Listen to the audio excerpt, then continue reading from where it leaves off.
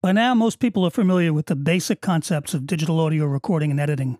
But for anyone who may be new to working with a DAW, digital audio workstation, this video will provide a little history and a bit of background for DAW novices.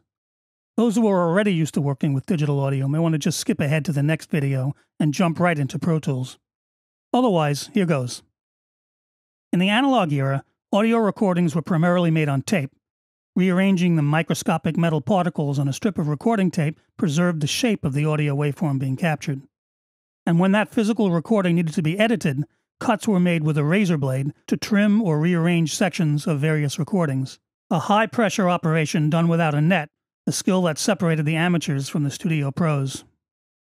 Now, in the digital era, audio is instead captured as a string of ones and zeros in a computer file, not only can digital audio files be copied without loss of quality, but they can be edited with relative ease in what's referred to as nonlinear editing. Rather than having to make permanent edits with a razor blade, editing can be done non destructively by cutting, trimming, and moving around a virtual display of the audio wave against a timeline. In Pro Tools, naturally, this is done in the Edit window. The audio is shown in the DAW as waves in audio regions, or clips but these are only references to the original audio files, which are separate files on the hard disk.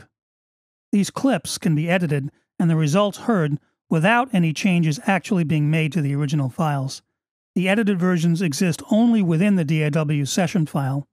That's non destructive editing, and that's what's done in every DAW, including Pro Tools.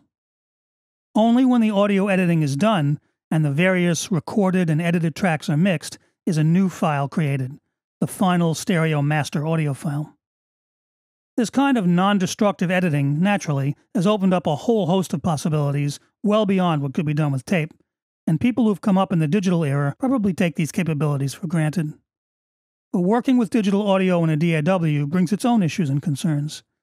There's a dependent relationship between the session file, where the editing and mixing is done, and the actual recorded audio files, which are all separate files on one of the host computer's hard disks one for each track or take.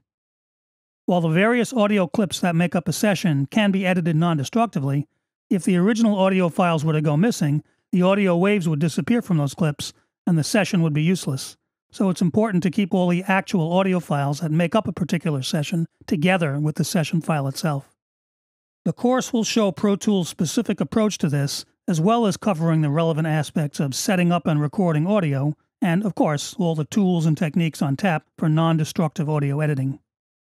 So, with this brief bit of background out of the way, let's move on to Pro Tools, starting with an overview of the main edit window where all the recording and editing tasks are carried out.